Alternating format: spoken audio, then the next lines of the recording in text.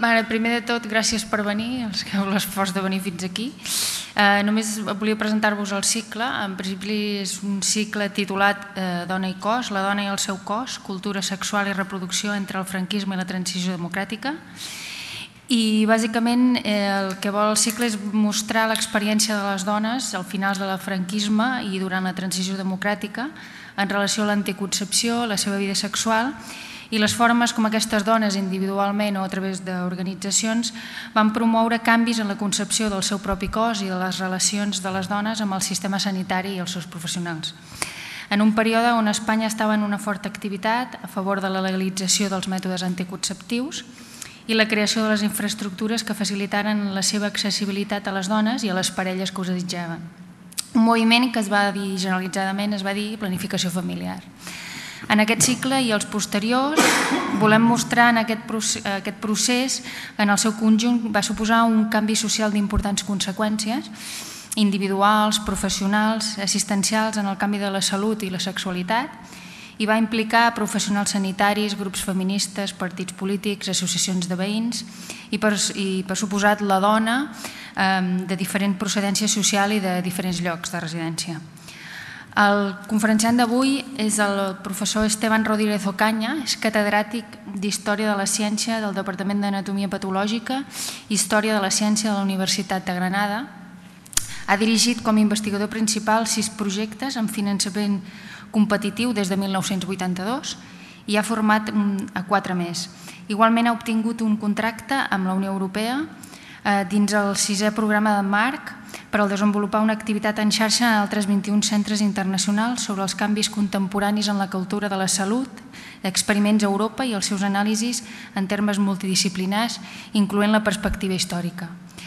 Els seus interessos professionals han estat eh, centrats en l'anàlisi de les relacions medicina-societat en diferents contextos i dominis, salut pública, malalties epidèmiques, medicina del treball, cura de la infància, amb especial atenció a l'Espanya contemporània. Té, quan podeu suposar, moltíssimes publicacions. Eh, jo només volia destacar les, unes, les últimes. Bueno, un, un llibre de Salut Pública en Espanya, Ciència, Professió Política, el siglo XVIII al XX, del 2005, i els, els que estan publicant ara dins el projecte d'anticoncepció, sexualitat i salut, bueno, aquest és el segon projecte, no el projecte d'abans, han fet diverses publicacions amb la Teresa Ortiz, Activismo feminista y movimiento asociativo per la, per la planificació familiar en Espanya i un dels últims que ha que és ovulostáticos y anticonceptivos, el conocimiento médico sobre la píldora en España durante el franquismo y la transición democrática 1940-1979. Y ya está, con Muchas gracias. Y muchísimas gracias por la invitación a venir a Barcelona y a estar aquí con nuestros amigos de toda la vida y a ayudar a desarrollar las actividades del Instituto de Estudios Catalans con este ciclo tan estupendo. Lástima que la competencia haga difícil la, supervivencia en estos días. ¿eh? Bueno. Em, uno de los primeros trabajos originales de investigación sobre anticonceptivos hormonales publicado en España fue presentado por tres médicos catalanes, Pera Pujol Amat, eh, Masana Rosado y Márquez Ramírez, en el séptimo Congreso de la Sociedad Hispanolusa de Obstetricia y Ginecología que se celebró en junio del 64 en San Feliu de Guixols. De este trabajo se imprimió una tirada aparte como folleto y también se publicó una versión en, la revista Asta Ginecológica de Madrid que la fundó y dirigía a José Botella Yusia. Este artículo empezaba diciendo, en la actualidad se dispone de una serie de sustancias progestacionales activas por vía oral, las cuales se emplean junto con estrógenos para inhibir la ovulación. En algunos países se emplean extensamente estas sustancias para llevar a cabo programas de control de la natalidad. Sin embargo, las mismas también tienen aplicación en terapéutica ginecológica.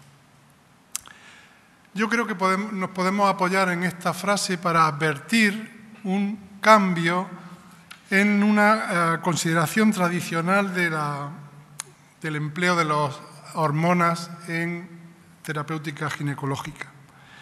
un cierto giro copernicano, abusando de la metáfora que es clásica en nuestra historiografía, pues desde los años 30 se habían lanzado con fruición los ginecólogos a la experimentación y sobre todo a la aplicación terapéutica de las hormonas sexuales, primero en su estado natural, obtenida de seres vivos, y más adelante a partir de la obtención eh, por síntesis química, desde los años que anteceden a la Segunda Guerra Mundial y eh, los estrógenos desde los años que anteceden a la Segunda Guerra Mundial, la progesterona, progestágenos de síntesis en la década de los años 50. Pero al mismo tiempo se podría decir que la anticoncepción hormonal contribuye a inaugurar una novísima situación que la separa de la tradición de la clínica con su horizonte de enfermedad-asistencia para situarla en la coyuntura radicalmente moderna de la salud como calidad de vida. Decir, el embarazo no es una enfermedad, la concepción en sí misma no es una enfermedad, pero sin embargo se entiende que esa situación conlleva un riesgo para la totalidad de la vida, no exactamente para la vida orgánica de la, madre o, o, la vida orgánica de nadie de la familia, sino que compromete de alguna forma eh, la vida familiar o la vida personal, en primer lugar. No en vano se ha dicho que la píldora fue la primera de las lifestyle drugs, que es un apodo que ha sido acuñado en la bibliografía internacional. Lo que me propongo contarle esta tarde es la recepción en la ginecología española de estos nuevos productos y hablarle de la discusión generada en medios profesionales sobre su uso. Discusión que no es ajena, sino todo lo contrario, al contexto político dictatorial y al peso de la obediencia católica en las jerarquías del Estado, no menos que entre los propios profesionales. No hay que olvidar, como señalaba, recordaba Teresa ayer, que el Código Penal de 1941 castigaba con penas de multa y arresto mayor para quienes informaran, divulgaran o hicieran propaganda de indicaran o prescribieran cualquier método anticonceptivo, situación que persistió hasta 1978 para la anticoncepción oral y hasta 1981 para los DIUS. Y sin embargo, no conocemos ninguna condena contra médicos por esta causa aunque sí se produjeran otros episodios represivos contra el derecho de reunión y la libertad de expresión principalmente.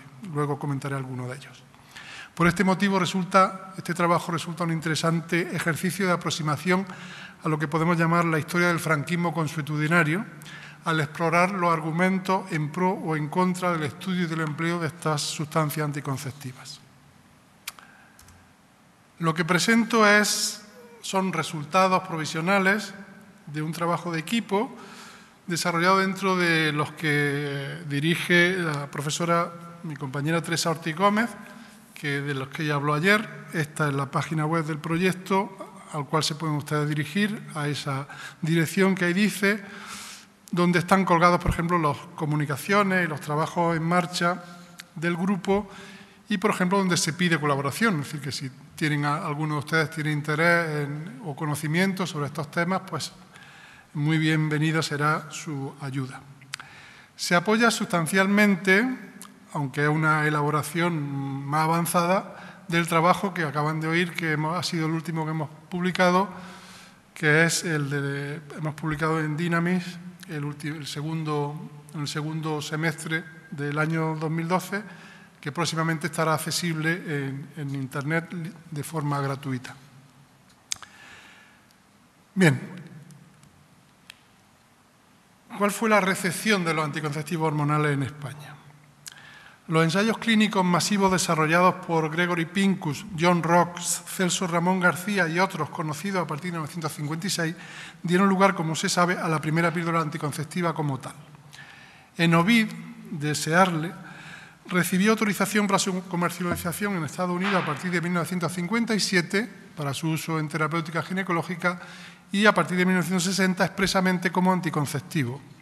Aquí pueden ver las, fechas de los primeros anticonceptivos registrados, aprobados en Estados Unidos y el Reino Unido y en España. Y en la columna B indica la fecha a la que se le reconoce la potencialidad anticonceptiva. Anovial 21 no existía en 1978 ya, pero es la fecha en la cual se legaliza y por tanto se reconoce la potencialidad anticonceptiva de todos los que existían en aquel momento, que eran bastantes, una lista bastante extensa. La ginecología española recibió y procesó esta información, si bien tomó con cautela la indicación anticonceptiva.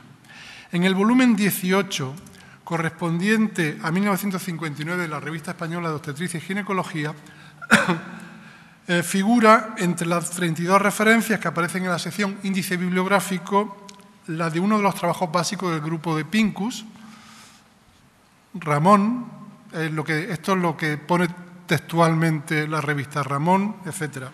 Debía haber dicho García porque el primer autor era, como se indica abajo, en acta ginecológica venía correctamente identificado, era un trabajo de García, Pincus y Rock sobre los efectos sobre la ovulación humana de, los norgestágenos, los norderivados empleados por ellos. Retrospectivamente, resulta llamativa la ausencia de mención al siguiente artículo del mismo equipo que se publicó en la misma revista americana, unos meses después, porque allí ese artículo era Fertility Control with Oral Medication, es decir, es donde directamente enfocaban o planteaban el empleo anticonceptivo de aquellos efectos anovulatorios que habían encontrado en las mujeres con mm, los norderivados.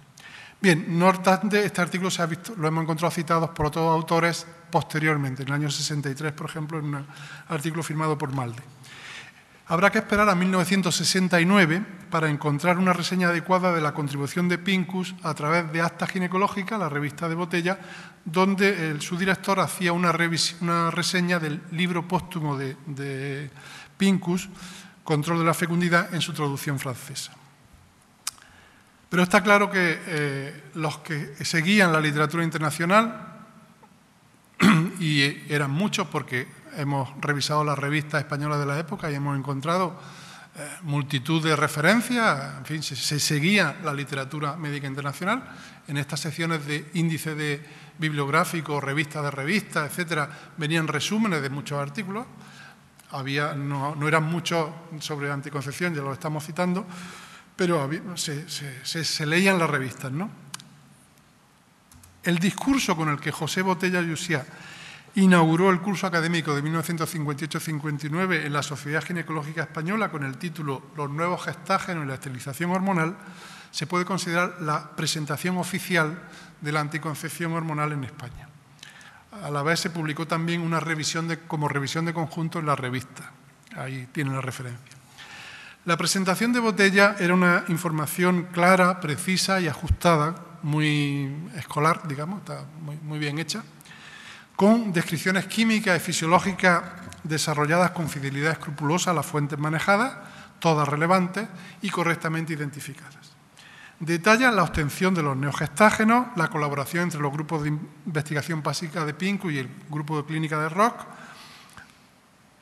y eh, cuenta como en los trabajos en Nueva York pues, se probaron hasta cuatro norderivados suministrados por los laboratorios Sharing, Organon y Searle y otras compañías farmacéuticas, mientras que en Puerto Rico, que fue la culminación del trabajo, eh, se administró solo uno, fabricado por Searle, que unía al gestágeno una pequeña cantidad de estrógeno y aplicado en una población de 365 mujeres casadas sexualmente activas durante nueve meses, se había seguido su consecuencia en el terreno de la concepción. Informa que los autores citados habían documentado la suspensión de la ovulación en el 100% de los casos en los que se cumplió la pauta de administración para recuperarse sin problema cuando se detenía el suministro. Igualmente informa de la no aparición de síntomas de intolerancia.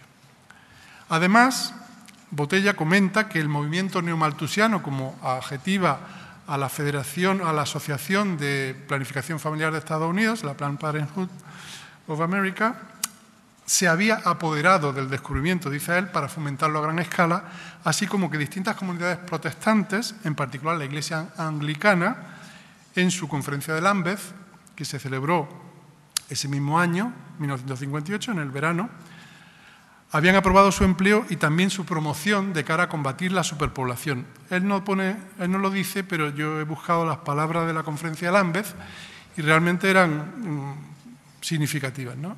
La conferencia, el acuerdo anglicano, consagra la prioridad de los padres a la hora de decidir sobre el número y la frecuencia de los nacimientos, ejerciendo una paternidad responsable y lo pedía a través de los medios aceptados por ambos cónyuges que no repugnen a la conciencia cristiana. Eran las palabras textuales eh, estarían ahí, en fin, no la he puesto esas porque ya me hacía la, cita muy larga, pero aquí me interesa señalar que consideran que eso es un factor importante en la estabilidad de la familia cristiana y que para mm, decidir sobre el número de hijos o sobre la frecuencia de, los embarazos había que tener en cuenta las posibilidades de la familia y los problemas sociales. Tanto una resolución realmente que tocaba, digamos, todos los aspectos del problema desde el punto de vista individual, familiar, social. ¿no? A partir de aquí, Botella se acoge a la autoridad religiosa del fallecido, recién fallecido Pío XII para descalificar absolutamente el empleo de los gestágenos como anticonceptivos, repitiendo las mismas palabras que el Papa había dirigido el 15 de septiembre al Congreso Internacional de Hematología reunido en Roma.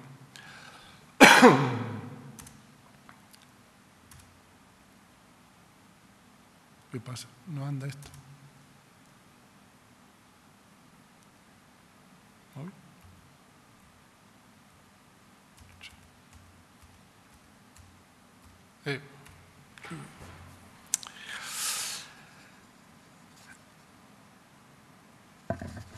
Repitiendo las palabras del Papa, alaba su precisión, dice, siempre a tono no solo de la ley moral, sino también de los más recientes descubrimientos de la biología, implicando la descalificación absoluta de la finalidad anticoncepcional, de la nueva medicación, como dice ahí. Su conclusión traza un paralelismo, en la conclusión de las conferencias, hace un paralelismo entre dos aspectos, dos frutos de la ciencia moderna, que son la bomba atómica, es decir, la física, de la física nuclear, y los anticonceptivos de la ciencia biológica.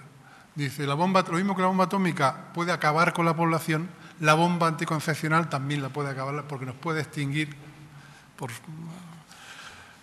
su propio, por su, por su uso, ¿no? Pero lo mismo que de la física nuclear se obtiene, o de la energía atómica se obtienen terapéuticas anticancerosas, de la bomba anticoncepcional se obtienen terapéuticas útiles en el campo de la ginecología. Entonces, ¿por qué, que es la pregunta con la que empieza todo, todo el discurso, ¿por qué se habla de esto en, una, en un lugar y en, una, en un contexto profesional tan adicto al catolicismo?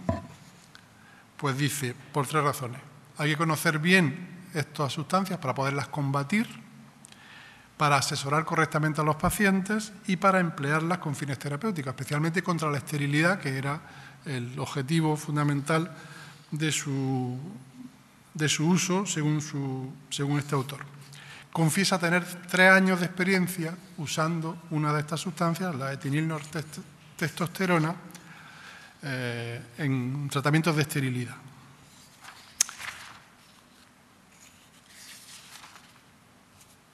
Pues bien, pocas semanas después de este discurso, no sabemos exactamente cuándo, pero la sesión inaugural debió ser en octubre, noviembre,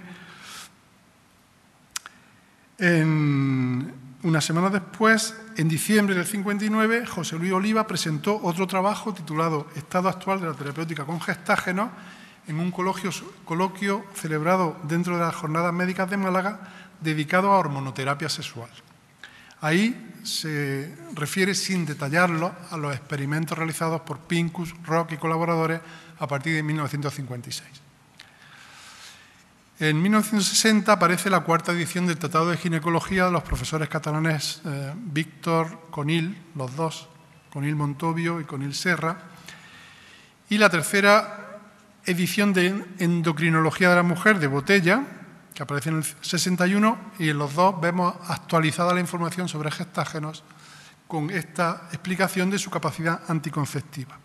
También en febrero del 61, una sesión conjunta de la Asociación Obstétrico-Ginecológica de Barcelona y la Asociación de Endocrinología y Nutrición eh, dedican esa sesión al estudio de la terapéutica hormonal con progestágenos de síntesis. Allí se presentaron dos trabajos, uno de Rodríguez Soriano, que es un ginecólogo eh, barcelonés que fue posteriormente llegaría a ser jefe de servicio del departamento de gine en, el Hospital del Sagrado Corazón y que trata de la química y del metabolismo de esta sustancia y un segundo sobre indicaciones terapéuticas por Sala Ponsati que cuenta que entre las acciones que se consideran seguras, de, de estos gestágenos, estos progestágenos, se encuentran, además de la detención del, sangrado en el caso de las menometrorragias, la pseudopreñez artificial, que es una expresión de la época, pseudopreñez artificial, un retruécano, evidentemente, por embarazo artificial, y la acción anticonceptiva, con todas las palabras. Por tanto, no cabe duda que los médicos, los ginecólogos españoles sabían qué se traían entre manos cuando manejaban este tipo de eh, compuestos. y eso enlaza pues, con esa tradición de uso de los estrógenos artificiales eh, que ya venía estando presente en España al mismo nivel que en el resto de Europa desde los años 30, 40. Tenemos, en el artículo de Dinemi señalamos esa genealogía discutiendo y presentando artículos que la comentan y trabajos que la comentan en, las décadas anteriores. Pero si cogemos una revista que se inaugura en 1961, que se edita eh, de casualidad en Granada, Actualidad Obstétrico-Ginecológica, ahí siguiendo esa revista vemos que también en sus críticas de libros y en su sección de noticias internacionales aparece, van recogiendo eh, pues este tipo de informaciones. ¿no? Por ejemplo, hay una acta de una conferencia eh, de 1961 sobre control de la ovulación en la que el reseñador, que es Emilio Herrera, un médico de Granada del grupo de Salvatierra, que eran los que hacían la revista, eh, habla de la extraordinaria utilidad de esta revisión, de esta, de, de esta acta de conferencia, porque aborda uno de los aspectos más interesantes de la endocrinología, con extensión y profundidad, presentando los 19 noresteroides y mostrándonos los distintos efectos observados con el Enovid, que es uno de los anticonceptivos primeros, como hemos visto antes. En 1963, la misma revista incorpora o publica un resumen extenso de un artículo de la Press Medical titulado Esterilización y Contracepción. El mismo año, 63, que Medicina Clínica publicaba una revisión de Pere Pujol Amat, que lo hemos nombrado al principio, sobre lo mismo, progestágenos de síntesis e inhibición de la ovulación. En el año 64, el propio Salvatierra firmaba la reseña de la acta del simposio de la American Academy of Arts y la Fundación Ford, en la que habían participado García, Rock, Pincus y otros en mayo del 63 sobre fertilidad humana y problemas de, la población, indicando que se trata de un texto de consulta obligada.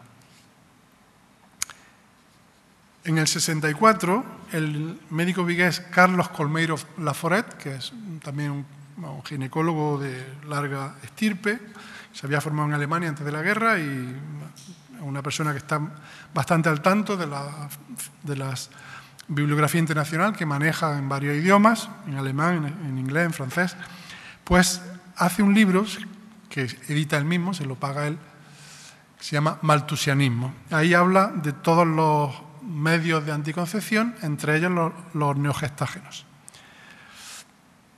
de forma clara y bien informada, como es costumbre en esta persona. En sus conclusiones afirmaba que no se había conseguido hasta la fecha un procedimiento que reuniera las condiciones mínimas que es lícito exigir a cualquiera que pueda juzgarse clínicamente aceptable. Pensaba que ninguno, ninguno de los que había, de los que existían, incluyendo los gestágenos, los neogestágenos, cumplía esos mínimos exigibles. Pero eh, precisa que sus efectos secundarios las mujeres que lo usan no, mm, no son más peligrosos para su salud que los de otros procedimientos ya existentes con anterioridad y que no había bases objetivas para rechazarlos pensando en su riesgo a corto plazo. Otra cosa eran los riesgos a largo plazo que él consideraba que sí eran serios, que había que tenerlo en cuenta. No sabía cuáles eran, todavía no se sabían, pero pensaba que eso sí podían tener. Eh, cita una serie de citas Lenovid, Lanoblar, Lindiol, Primolutene, Norlutin, Orgametril, Gestanón, Orgasterón, en el año 64. Es decir, que la nómina, digamos, de neogestágenos accesible a la farmacopea española, pues era ya similar o casi similar a la que había en el resto de Europa, en el resto del mundo industrializado. A partir de ese año comienzan a editarse en España trabajos originales de investigación sobre anticonceptivos hormonales. Los primeros de los que tenemos noticias corresponden al grupo barcelonés que hemos comentado al principio, que son del Servicio de obstetricia y ginecología del San Pau, que estaba dirigido por mm, Víctor Conil Serra.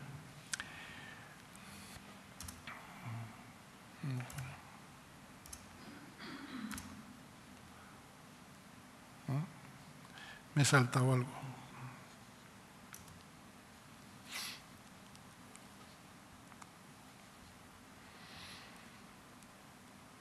Ese mismo año 64, además de, bueno, este es el trabajo que, la portada del, folleto, y esta es la, reseña, la, referencia bibliográfica del artículo publicado en esta ginecológica. Además de eso, pues tienen el artículo del 63, que es una revisión bibliográfica, y otro posterior sobre proyección sobre el endometrio de los inhibidores hormonales de la ovulación, que es eh, un estudio, digamos, anatomopatológico, histopatológico, eh, estudiando justamente eso, los efectos morfológicos del empleo de, de estas sustancias. Ese mismo año, en revistas médicas, hemos encontrado otros dos artículos sobre este tema, uno sobre la farmacología de estos compuestos y otro sobre eh, la discusión moral acerca de su empleo. Si utilizamos un libro de larga trayectoria, es decir, con varias ediciones, como el libro de Botella sobre endocrinología, su segunda edición es del 56, la tercera del 61, la cuarta del 66, la quinta del 76, podemos seguir un poco la, la trayectoria de estas sustancias. ¿no? En el 61 tiene el capítulo sobre nuevos gestágenos, que corresponde básicamente a la información del 58-59. En el 66 el capítulo está dedicado a fármacos anovulatorios y en un apéndice de 16 páginas discute los aspectos químicos, biológicos y médicos de las píldoras anovulatorias y da una lista de siete marcas existentes en España en aquel momento. El texto no discutía las condiciones de empleo, simplemente señalaba que su toxicidad era escasa y que no era impedimento para su uso. O sea, que esa escasa toxicidad pues no, era, no suponía ningún problema médicamente hablando. es del 66.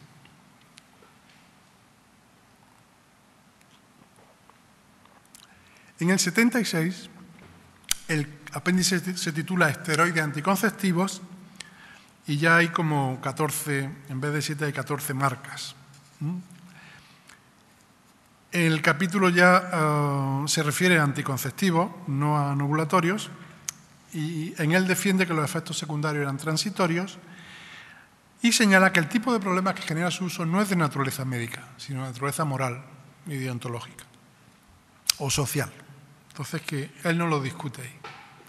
De hecho, tenía tendencia a no discutirlo. Después de la conferencia aquella que dio en el 58, no vuelve a hablar de eso en, escritos médicos, eh, publicados en la prensa médica, pero sí lo hace en otros foros. Botella habla de eso en foros católicos de opinión, en congresos internacionales de tema de población o en reuniones varias a las que lo invitan. Y escribe en textos, digamos, dirigidos al gran público sobre... Eh, las mujeres, sobre la maternidad y sobre la, contracepción en sí misma. De todas formas, pese a esta posición, la Cátedra de Botella es la principal productora de trabajos originales de investigación sobre anticonceptivos hormonales hasta 1979. Desde el 65 hasta el 79, la máxima producción de trabajos originales de investigación españoles proceden de la segunda cátedra de obstetricia y ginecología de la Facultad de Medicina de Madrid y su clínica junta. Si bien, eh, como veremos a continuación, parece que a partir del 69 el interés de botella personal casi tiende a desaparecer. De hecho, en el último quinquenio, entre el 75 y el 79, no publica nada él. Y lo que se publica en su clínica entonces tiene muy pocas muy poca firmas. Los anteriores trabajos han tenido seis, cinco, siete firmas, tres firmas de botella, en muchos casos, de Clavero, que es el siguiente que llega a la cátedra promovido dentro de su grupo de, trabajo. Y en la última, el último episodio, el último periodo, digamos, después del 75-79, mm, los trabajos están firmados por una única persona o por mm, casi exclusivamente. Porque es que lo que hemos hecho ha sido mirar la base de datos del IME buscando los artículos publicados sobre anticoncepción. hemos completado esta búsqueda con la revisión en otra búsqueda en PubMed, como saben, bueno, en la base de datos de la National Library de, Estados Unidos, National Library of Medicine de Estados Unidos, donde se recoge información sobre la literatura circulante mundial. Hemos cruzado las dos listas y además hemos revisado personalmente, eh, directamente, colecciones de, las principales revistas de temas especial, especializadas en obstetricia y ginecología españolas y hemos encontrado artículos que no estaban en ninguna de las dos. No estaban recogidos ni en IME ni en PubMed, pero sin embargo estaban, estaban publicados. Entonces, con todas esas tres cosas, le hemos cruzado esos tres resultados y tenemos, pues, eh, hemos encontrado en total 198 trabajos del año 65 al año 79, una media anual, pues, bajita, que desciende claramente, el último quinquenio es muy inferior a la, media del periodo y, mucho más a la de los otros dos quinquenios, con ese número de autores, es decir, que hay un alto índice de transitoriedad, muy pocos autores que repitan firma, es decir, que repitan trabajo. El índice de cooperación no habla del número de, firmas repetidas, ¿no? Pues muy, muy poquito, ¿no? No se registra un aumento en el tiempo, como podría ser esperable, teniendo en cuenta que se trata de un problema vivo y además un problema para el cual digamos, las novedades continúan a lo largo del tiempo, llegan hasta nuestros días, de hecho. Y además que sabemos que, como mostró ayer Teresa, las ventas, el número de usuarias también crece, en España también. En otras partes crece mucho más, pero por tanto que la atención mm, científica no tiene motivos para decaer, pero en España sí decae, como podemos ver con estas cifras. ¿no? Si miramos por años, los años de máxima publicación son 25 trabajos en 1969, 21 trabajos en 1972, 20 en 1979 y 19 en 1967. Es decir, dos picos de máximo en el primer quinquenio y otros dos en el, en el, uno en el segundo quinquenio y uno en el tercer quinquenio. Los años de mínima producción fueron 1977, el que menos, cuatro, solamente cuatro artículos, siete en el 66, ocho en el 68 y en el 78. Esta secuencia nos sugiere dos cosas. Primero, que la discusión abierta en el mundo católico en la primera mitad de los 60, que tiene su anmé en torno a la publicación de la encíclica Humanae Vitae por Pablo VI en 1968, se corresponde con la etapa más bulliciosa también de la investigación médica española original sobre anticoncepción mientras que el final del franquismo provocó una cierta parálisis también en el aspecto de la, en el campo, los medios científicos, podemos decir. ¿no? Hay que considerar en cualquier caso las trabas legales al control de natalidad, la oposición católica reforzada por los Manai Vitae, la postura en contra de la organización médica colegial, entonces estrechamente controlada por el régimen franquista, y la represión que acompañó los últimos momentos de la vida del dictador. Pensamos que si continuáramos este estudio en el tiempo, veríamos que la década siguiente se observaría un cambio de tendencia eh, radical. De hecho, una lista preliminar del IME sin comparar con nada, más, para el quinquenio 80-84 nos da una media de 23,8 trabajos, es decir, muy superior a la de todo el periodo anterior. La lista de máximos productores, los que tienen un, asterisco son de la Cátedra Segunda de Madrid, la Cátedra de Botella. González Merlo empezó ahí, luego se vino a Barcelona, pero el primer, los dos primeros sesenios, los dos primeros quinquenios, eh, era autor madrileño. Pueden ver Botella, el último quinquenio no tiene nada, Sánchez de Rivera tampoco, Clavero tampoco tiene nada en el segundo quinquenio. Sánchez, eh, Clavero y Botella, o Botella y Clavero, son los jefes de fila, digamos, de los que por norma constitucional debían firmar todo. En el último quinquenio no lo firman. Esta gran producción de Madrid se vertebra en torno a dos trabajos doctorales. Uno de Guillermo Sánchez de Rivera, Gregorio, perdón, Gregorio Sánchez de Rivera Vázquez, que presentó y publicó en 1972, dirigida por Botella, Mecanismos de acción de los esteroides usados como anticonceptivos. Una tesis sobre anticoncepción. El segundo doctorando que leyó en 1974 fue José Antonio Vidar Aragón, Contribución al estudio del mecanismo de acción de los contraceptivos parenterales, estudio experimental en primates. Mientras que el primero, Sánchez de Rivera, confirmó la mayor parte de sus artículos con Botella, Clavero y otros de sus compañeros, Vidar publicó prácticamente en solitario. En esta lista se encuentran algunas personas que en realidad son autores de solamente un trabajo, pero el trabajo está muy repetido. Bueno, Nasio, que es el último de la lista, es un argentino, filósofo argentino, que es como se identifica.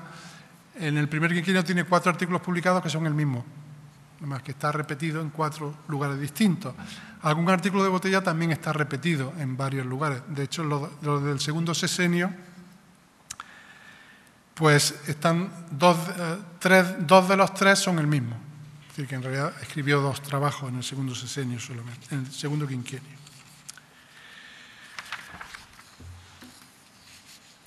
Los otros focos precoces de atención, o primeros de atención, están en Barcelona, donde tenemos González Merlo en el último quinquenio, Carrera Maciá, de Zeus hijo, Tenerife, que está de la Peña Regidor, y Bilbao, que está Usandizaga Pombo, que está en el Hospital de Cruces, el Servicio de Obstetricia y Ginecología. Esta distribución geográfica se comprueba también cuando vemos las revistas que son que forman el núcleo, mm, el núcleo de publicación sobre anticoncepción, es decir, las revistas que entre ellas suman más del 50% de, de, los artículos publicados. Son las revistas de especialidad y cuatro revistas generalistas, Acta Médica de Tenerife, Gaceta Médica de Bilbao, Gaceta Médica Española y Medicina Clínica. Medicina Clínica de Barcelona, Progreso Obstetricia y Ginecología de Barcelona, Tenerife, Bilbao, pues está claro. Todavía estamos trabajando esta masa de información para, obtener, para poder obtener más precisiones sobre los grupos de trabajo y sobre sus prácticas publicísticas, que no, hay que, no se puede tampoco olvidar que lo que aquí estamos viendo es resultado de un interés científico y un interés curricular. Entonces, eh, la estrategia de publicación también hay que tenerla en cuenta a la hora de analizar estos datos, ¿no? Y analizar de qué publican y sobre qué publican, qué temática publican y, qué con qué metodología. Esto no lo hemos terminado. ¿no? Un preliminar nos indica que aproximadamente la cuarta parte de todos los trabajos se referían a los efectos fisiológicos o fisiopatológicos de esta medicación fuera de, la método anticoncepcional.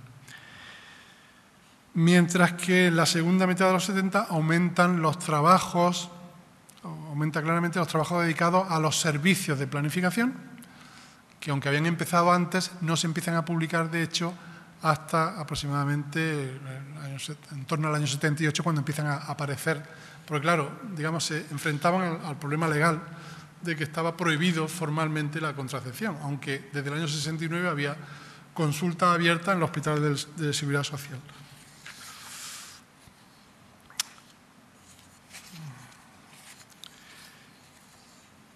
Es pertinente además recordar que la publicidad de los primeros anticonceptivos en España, desde el 64 en adelante, apuntó siempre a casos de a, la regulación del ciclo, a la inhibición de la ovulación, los casos que requieren reposo ovular, etcétera, etcétera. Eludiendo la definición como contraceptivos que efectivamente los ponía, los ponía a resguardo de la ley. ¿no? Por ello, ha resultado sorprendente encontrar en el texto impreso del folleto del Congreso del 64 de, los tres médicos de San Pau esta ilustración, que originalmente es inglesa, pero claro, esta rompe con todas las convenciones de la, de la, anovulación española, porque aquí lo que estamos hablando no es de inhibir la ovulación, estamos hablando de la liberación de la mujer, de romper, de liberarla de sus cadenas. Justamente una imagen que, según un señor, nada conocido, pero no por ello menos digno, sin duda. A ver si lo encuentro. No lo voy a encontrar ahora. Bueno, no lo encuentro. Bueno. Esa frase de eh, encadenada a la maternidad está escrita en la prensa médica en los años 50. ¿Mm? Tengo la cita, en algún sitio saldrá, cuando toque. Botella con buen ojo clínico. Bueno, vamos esto es la recepción. Voy a dar algunas pinceladas sobre la respuesta española. ¿no? Hemos dicho que llega, entonces cómo discurre en el ámbito científico ah, desde, fuera, digamos, grandes rasgos. Botella, en el discurso del 58, decía que esto era así, habían ocurrido estas cosas de las que hablaba por tres razones fundamentales. La investigación básica, que había proporcionado sustancias Mm, fáciles de obtener, el apoyo de la industria farmacéutica y el interés y estímulo de la sociedad civil a través de instituciones pro control de la natalidad. Además, hacía referencia a la presión de los pacientes. Decía, la prensa se ha apoderado ya de lo que todavía debería estar en el secreto médico del ensayo y la experimentación.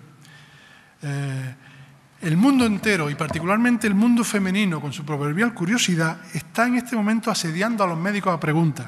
Yo me veo a diario varias veces interrogado, y supongo que no solo yo, vosotros también. Octubre del 58. En el 62, Colmeiro decía, la continua y progresiva difusión del empleo de métodos para evitar la concepción es un fenómeno universal que desde hace algunos años resulta cada vez más aparente también entre nosotros.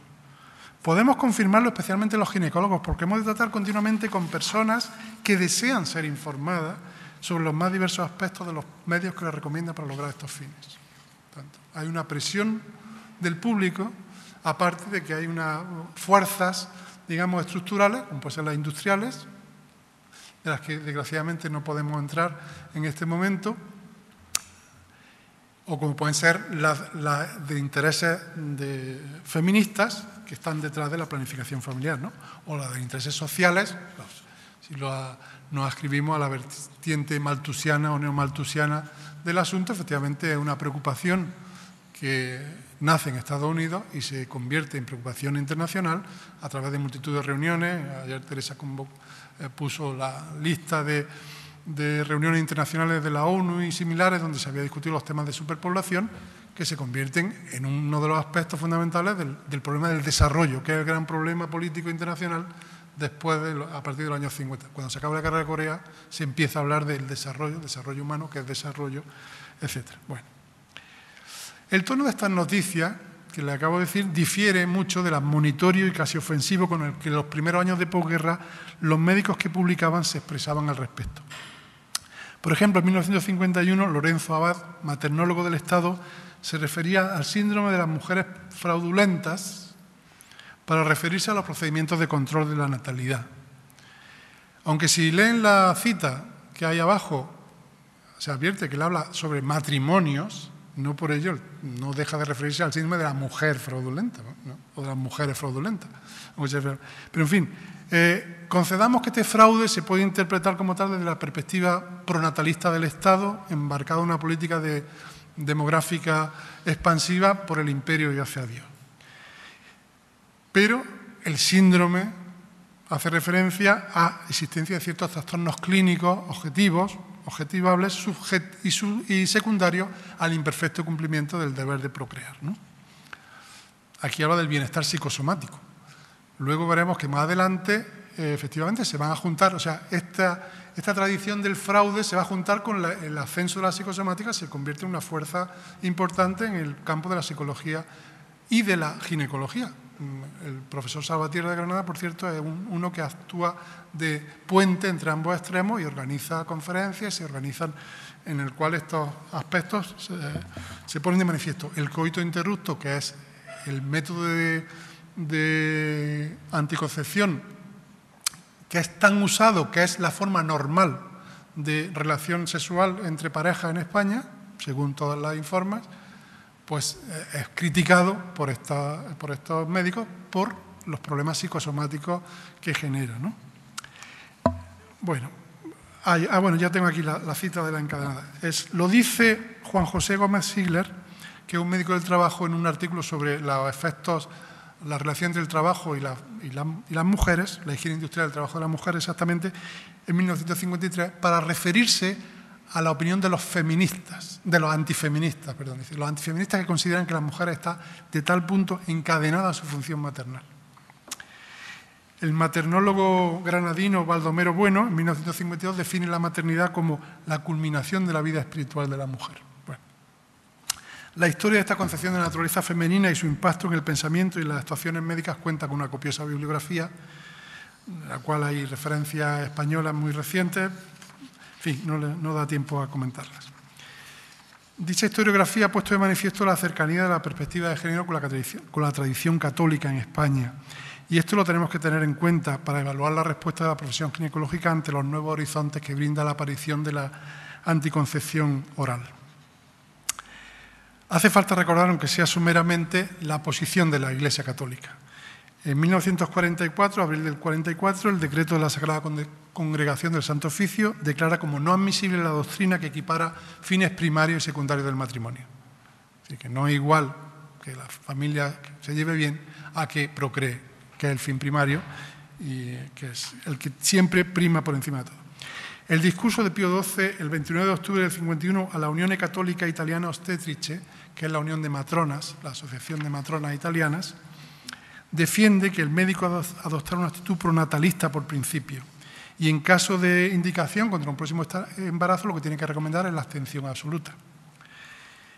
Y toda maniobra preventiva, todo atentado directo a la vida y al desarrollo del germen está prohibido, sea cual sea la situación de riesgo que, que cause eso. Sin embargo, el Papa reconoció la licitud de evitar la concepción en determinados casos, una casuística mm, que se podía estudiar de tipo eugenésico, con tales términos, médico, económico o social, siempre que se empleaban medios legítimos. El único medio legítimo era la continencia, total o parcial, según la fórmula Ogino-Naus que se había propuesto eh, por estos médicos y que se, estaba, se, se seguía estudiando.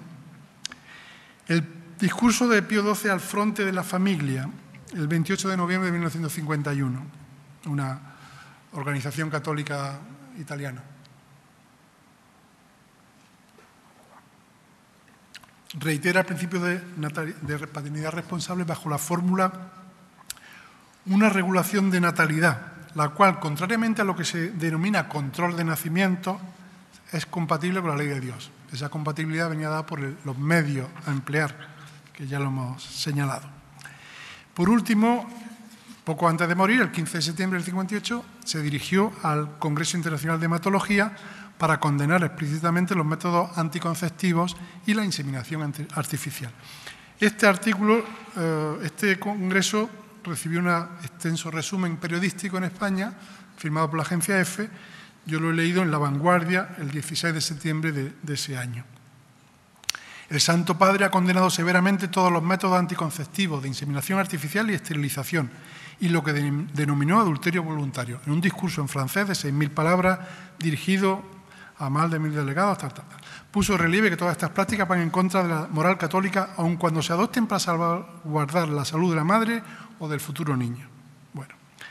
Las píldoras ovulatorias como causantes de una esterilidad temporal deben ser, son ilícitas, están prohibidas. Y ya hemos dicho, hemos visto la cita de botella, que ni siquiera en caso de peligro para la salud de la madre se puede emplear. Lo hemos tenido en la prensa recientemente, un caso irlandés de una mujer que ha fallecido por llevar un feto muerto que no se le podía, no se podía ah, hacer eh, intervenir, un feto moribundo, no se la podía intervenir porque moría el feto. Bueno. La aparición de la píldora movió a muchos teólogos y a un importante número de médicos católicos, entre ellos John Rock, uno de los protagonistas de su construcción, a defender su empleo como medio adecuado para fusionar la creencia religiosa con unas prácticas sexuales matrimoniales orientadas a la complementariedad de la pareja y a la realización personal de ambos cónyuges y al mismo tiempo respetuosa con el problema social de la superpoblación.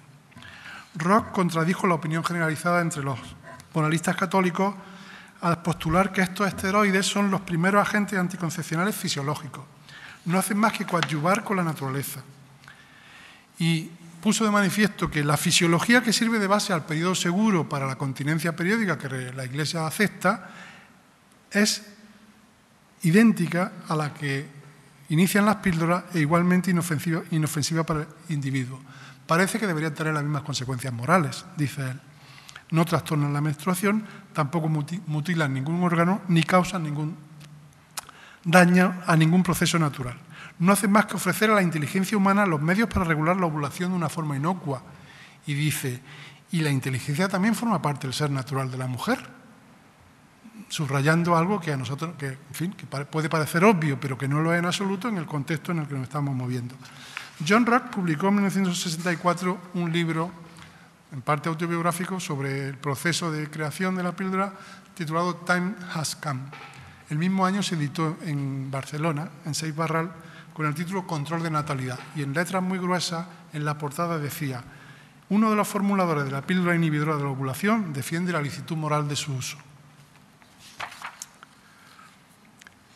La situación en el interior del mundo católico recién terminado el Concilio Vaticano II, en 65, llevó a la Iglesia a crear una amplia comisión de expertos.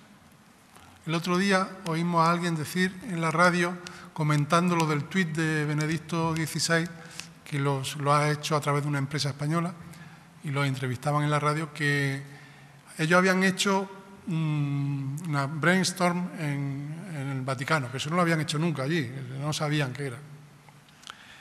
En el año 65, Pablo VI convocó una comisión de expertos en la cual, por todos los votos contra dos, salió una propuesta de favorecer, de aceptar la contracepción hormonal que el Papa desairó a continuación en la encíclica Humana Vitae, que no cerró el debate, desde luego, pero que fue un, hito doctrinal que cerraba formalmente el debate, aunque en la práctica no lo hizo. ¿no? Pues bien, este universo discursivo de la autoridad de la Iglesia no solamente se queda para los textos eclesiásticos y para los sermones dominicales, está presente en las revistas médicas. Tocoginecología Práctica de 1951 publica Deberes Profesionales del Médico Tocólogo, donde en una página recoge la noticia del discurso a las matronas de Pío XII y lo cuenta, con su entrecomillado correspondiente. En 1953, cinco páginas dedicado a sobre moral médica, circular de la Comisión Organizadora de la Campaña Pro Moralidad dirigida a los médicos, farmacéuticos y comadronas, firmada en diciembre de 1952, que se justificaba del siguiente modo. Los ataques contra la integridad de la vida familiar y más en particular contra la santidad del matrimonio cristiano se han recrudecido en los últimos tiempos, concretándose generalmente en la difusión de doctrinas y prácticas contrarias al fin principal del matrimonio, la procreación y educación de los hijos. Ante esto nos permitimos recordar la doctrina de la Santa Iglesia y la condenación de los errores contra ella. Entonces vienen cuatro páginas de resumiendo Pío XII, Pío XI y todo. Y a continuación la posición del Estado con eh, la reproducción de los artículos del Código Penal correspondientes. Es decir, que estamos en la situación justa para que sirve la religión católica como religión del Estado, ¿no? Que no solamente que el Papa diga o que los curas digan en misa, sino que luego te sacan el Código Penal. Bueno, de la campaña pro moralidad hablaremos otro día. Es muy curiosa. En el año 52, 54 perdón, se publica un estudio del Seminario de Medicina Social de Barcelona, que es una dependencia del Instituto, Católico de Servicios Sociales, que fue, que fue, el resultado de una discusión de todo el curso que llevaron al Congreso de Médicos Católicos celebrado en Dublín. Allí les dieron un premio, primer premio de deontología médica Juan, 22, Juan 21, instituido por la Asociación de Médicos Católicos Portugueses. Ya estoy poquillo todavía. El objeto del libro, que estaba dirigido por un reverendo doctor, no sabemos de qué doctor, si de medicina o de teología, pero donde había um, seis o siete autores, era precisar la actitud de los médicos en su práctica privada respecto a la limitación de natalidad entre sus clientes. desde la perspectiva pronatalista, naturalmente, pero a la vez con el pragmatismo propio de quien está en contacto con los sufrimientos de las personas que les consultan. En este sentido, explora sobre todo las indicaciones sugeridas por el Papa de tipo genésico, médico, obstétrico, quirúrgico, psiquiátrico, etc. Así como analiza los aspectos del problema demográfico, discute la moralidad en, los procedimientos y analiza estos. En general, parte de considerar que los profesionales españoles eran muy fáciles de convencer para decir que sí, que había causa de limitación de natalidad. Y ellos pues eh, dicen que no, no, hay tantas causas porque ya ahora tenemos, sabemos mucho más, diagnosticamos mucho mejor, tratamos mucho mejor. Por ejemplo, las mujeres afectadas de cardiopatías leves, leves el riesgo de muerte por embarazo sería similar al de un año más de vida como cardiópata, por lo tanto no puede descartarse que eso sea causa de objeción al, embarazo. Afirman que es lícito controlar la natalidad en caso de que ambos cónyuges padezcan o transmitan, sean portadores de tara o enfermedades graves. Eh, sugieren, vamos, no, lo dicen explícitamente, que los fines del matrimonio, que están, tienen su jerarquía, pero deben estar en equilibrio con los restantes aspectos de la vida, por lo tanto, en tiene una capacidad, una cierta empatía con los sufrimientos de la, de la gente. Por tanto, piensan que sí hay motivos para aplicar control de natalidad en casos concretos que debían ser objeto de análisis caso por caso. En cuanto a los medios, estamos en 1954, el único medio que entienden ellos es la abstención. Y además piden que se sugiera que se emplee el método Gino para, sustituir cualquier otro de los que habitualmente se emplean, especialmente el coito interrumpido, que es porque ya insiste en que es un mal método, no solamente porque da malos resultados estadísticamente, sino porque crea problemas. esto no es, la Iglesia no dice eso, nunca ha dicho eso. Pero los médicos, aunque estén dirigidos por un teólogo, pues tienen esa, esa capacidad ya hemos dicho, em, empática. ¿no? Bueno, eh, las palabras de la Iglesia se filtran en los artículos publicados en, las revistas médicas por gente como eh, el señor Abad Colomer, como el se llama como Leonardo Marqués en el año 62, la revista española de obstetricia y ginecología, eh, Rollo Villanova, que es el catedrático de Medicina Legal de Madrid, publica varios artículos también, etcétera. Es curioso que encontramos que no solamente hay un problema, es decir, no solamente se, se vive desde el punto de vista de estos médicos católicos el problema, el, problema moral de que si es lícito o ilícito su uso según la doctrina, sino también piensan que es un ataque extraño, un poco la leyenda negra, ¿no? que, se repite la historia, dirá uno. Como siempre, el materialismo no perdió un momento ni oportunidad para intentar agrietar los cimientos sólido de la moral católica. Es un ataque contra la integridad del catolicismo. Eh, eso se escribe en una reseña del año 62.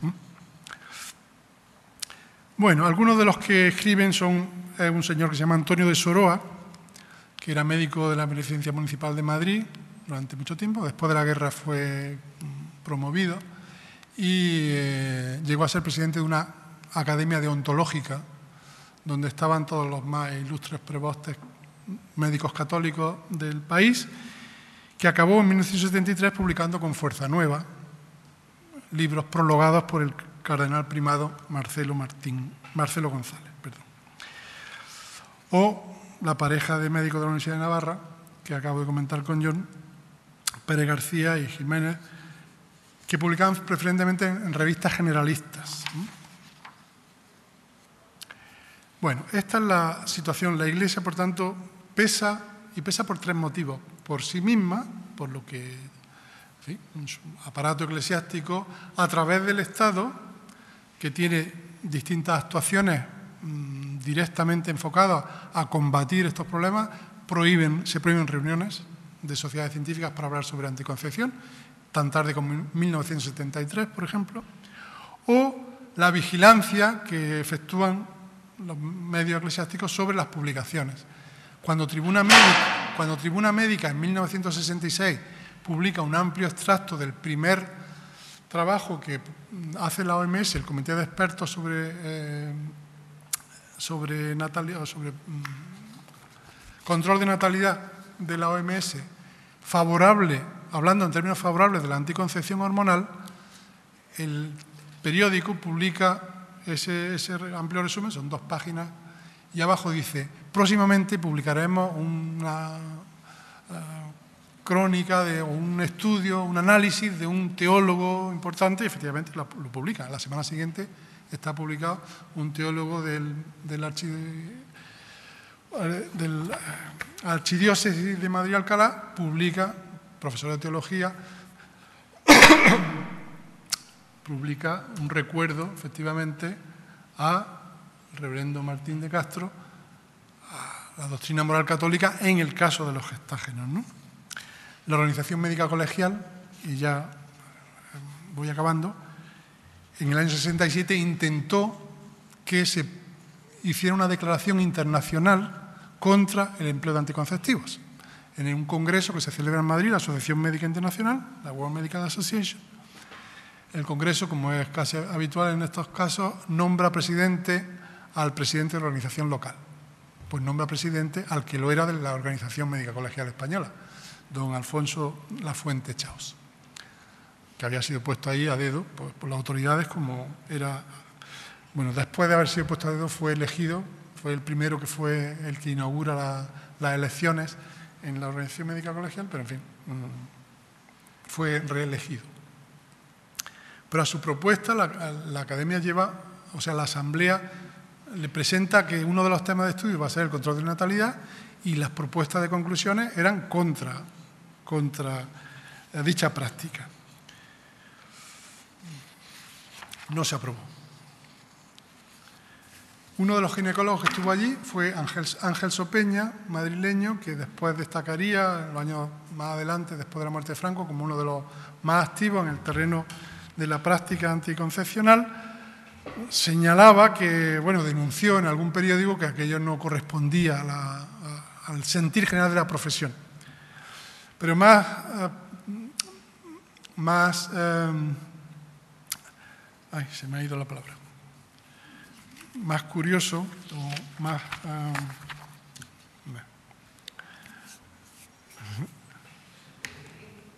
no, no es sorprendente, no. Más chusco, es más chusco. Sí, socarrón.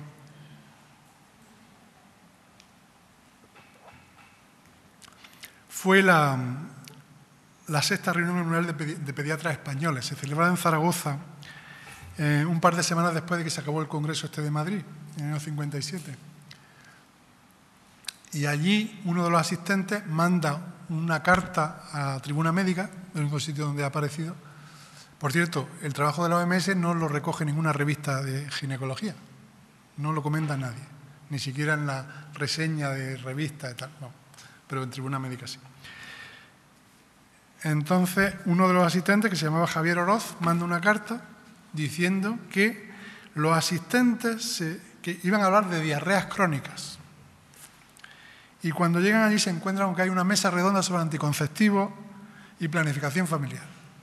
Oiga, ¿esto qué es? Bueno, pues hay varios ponentes, entre ellos un ginecólogo, todos los ponentes machacan la idea de anticoncepción y de planificación, menos el ginecólogo, curiosamente, no sé a quién habrían buscado, se equivocaron sin duda.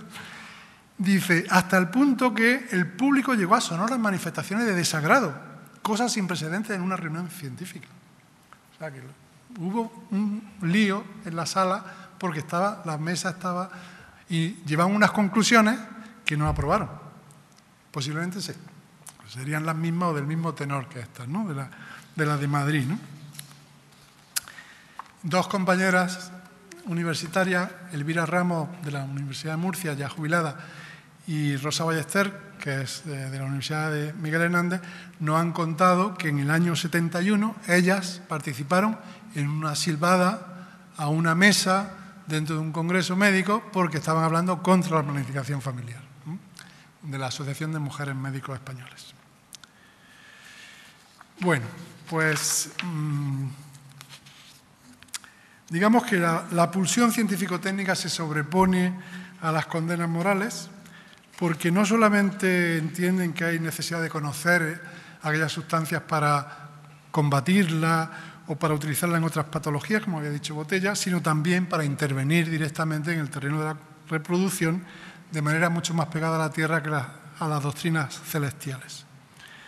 Por un lado, subsisten o se yerguen de nuevo concepciones del ser humano donde antes que aceptar un sometimiento a la naturaleza zoológica, eh, prima el concepto de automejora, de vocación personal y de educación personal.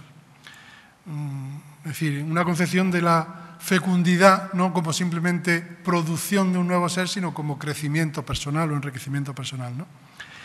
Por otro, los grandes problemas del desarrollo humano tanto desde el punto de vista social y político-económico, calan en las clases profesionales españolas y tenemos, pues, por última, como última nota que voy a, señalar, las reflexiones científicas a propósito de la Humanae Vitae que publican también seis médicos catalanes y editan en catalán en 1969 en la editorial Fontanela y un año después en castellano. Los firmantes encabezados por Jordi Gol, se identifican como científicos en conflicto desde una perspectiva cristiana por su desacuerdo con los elementos sustantivos que maneja la encíclica papal. Ellos pretenden hacer una labor de discernimiento histórico, dicen, de la encíclica, lo mismo que en fechas muy posteriores han sufrido otros documentos papales, como el Sílabus, por ejemplo, que ahora ya nadie le considera y fue obra del Papa también. bueno, critican fin, este horizonte meramente biológico de la vida, critican a Marañón directamente, que fue uno de los de las autoridades en las que la medicina española se basó para sostener esto, y defienden la planificación familiar, mejor que el control de natalidad, mejor que regulación, porque dice que eso así se habla de una responsabilidad con el futuro, y dicen que la inexistencia de pruebas sobre los posibles efectos nocivos a largo plazo de los anovulatorios se enfrentaban al pleno conocimiento de los seguros derivados de la, continencia. Por tanto, eh, estas son las razones, digamos, que nos explican cómo a partir del 69 se empiezan a abrir consultorios de planificación familiar, incluso en las propias hospitales españoles de seguridad social, pues como decía el profesor Conil sobre la consulta que habla en octubre del 71 en el Sagrado en San Pau, se puede afirmar sin eufemismos que late en la conciencia de la mayor parte de sujetos en edad procreativa de nuestra sociedad un temor constante al embarazo. Temor constante al embarazo. Los embarazos indeseados desequilibran situaciones familiares precarias, generan serias respuestas psicosomáticas, aparte de la existencia de mujeres para las que el embarazo resulta contraindicado por su situación clínica previa y dada la circunstancia de que muchas mujeres acuden porque están tomando anovulatorios hormonales ya. Por tanto, este médico, como otros, forma parte de los que empiezan a hablar de otra forma, pero no lo van a hacer explícitamente hasta después de muerto Franco, hasta el año 77-78, en la cual pues, ya se va a pasar a defender incluso la planificación familiar como un derecho humano elemental, como finalmente aprobó la OMS en una de sus resoluciones. Y hasta aquí alcanza mi historia por hoy. Muchas gracias por su atención.